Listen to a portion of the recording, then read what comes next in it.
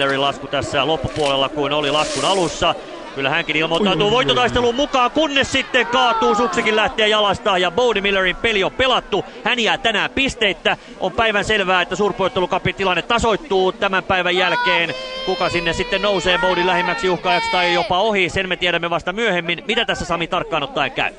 Siinä keventyy samalla kummulla pikkasen suoraan, missä Kallekin ja takapaino vahva ja suksi aukeaa. Nyt on etusiteessä ollut varmaan joku häiriö.